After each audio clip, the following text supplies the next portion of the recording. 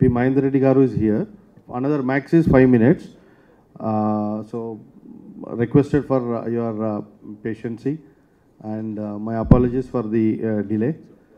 Uh, anything else which you would like to have um, on any kind kind of questions which related to product or south or anything see one message which i wanted to convey from here to the end users like us ఈరోజు ప్రతి ఒక్క customer ప్రతి ఒక్క మా family మెంబర్కి ఒక చిన్న ఇబ్బంది ఏమంటే బస్ స్టాప్లో నుంచి మన ఇంటి దగ్గరికి పోవడానికి కానివ్వండి ఇంటి దగ్గర నుంచి బస్ స్టాప్ పోవడానికి కానివ్వండి లేదు అని అంటే మన ఫ్యామిలీ మెంబర్స్ పిల్లల్ని స్కూళ్ళల్లో డ్రాప్ చేయడానికి కానివ్వండి ఎంతో రిస్క్ తీసుకొని ఆటోలలో ఒక పది ఇరవై మందిని కూర్చోబెట్టి పంపిస్తున్నాం ఈ ఎలక్ట్రిక్ రిక్ టూ వీలర్ కారణంగా ఏం అడ్వాంటేజ్ అంటే ఈ వెహికల్ వచ్చేసి ట్వంటీ ఎయిట్ థౌజండ్ రూపీస్లో వస్తుంది.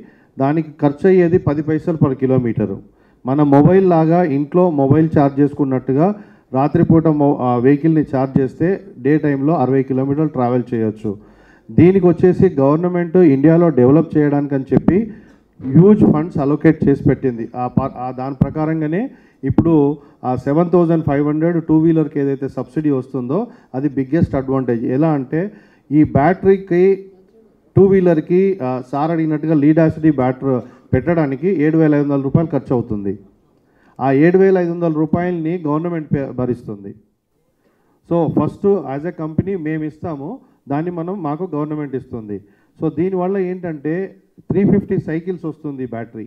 అంటే మూడు వందల యాభై రోజులు ఛార్జింగ్ చేసుకోవచ్చు అనమాట ఆ బండిని కనుక మామూలుగా మనం రికమెండ్ చేసి ప్రమోట్ చేయగలిగితే పొల్యూషన్ తగ్గుతుంది. ప్లస్ పిల్లల్ని ఆటోలలో కుక్కి కుక్కి పంపించాల్సిన పని ఉండదు. నెక్స్ట్ వచ్చేసి సేఫ్టీగా ఉంటుంది. ప్లస్ మామూలుగా ఇళ్ళలో యూజ్ చేసుకోవడానికి కూడా కన్వీనియంట్గా ఉంటుంది. పోతే ఈ రిక్షా వచ్చేసి మనం వెనుకటి కాలంలో చూసాం రిక్షాలలో తీసుకుపోయే వాళ్ళని. ఇప్పుడు ఆ పవర్డ్ వెహికల్తోని చాలా ఈజీగా ఉంటుంది.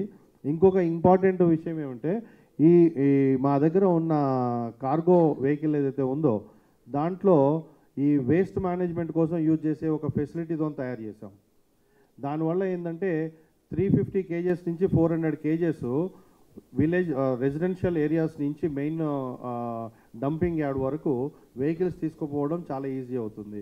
దాని cost only one lakh fifty thousand rupees అవుతుంది. అది ఏంటంటే ఇప్పుడు రిక్షా పుల్లర్స్ రోడ్డు మీద నెట్టుకుంటూ వెళ్తుంటారు కదా రోడ్డు మీద పడిపోతుంటుంది అదంతా ఇద్దరు కలిసి ఆపరేట్ చేస్తారు. అలాంటి వాటిని అన్నింటినీ కంట్రోల్ చేస్తుంది.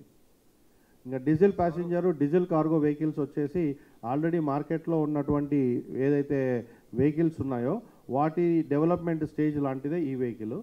గ్రీవ్స్ ఇంజన్ యూజ్ చేస్తున్న ఒక స్ట్రాంగ్ బాడీతోనున్న ఒక వెహికల్ ఇది.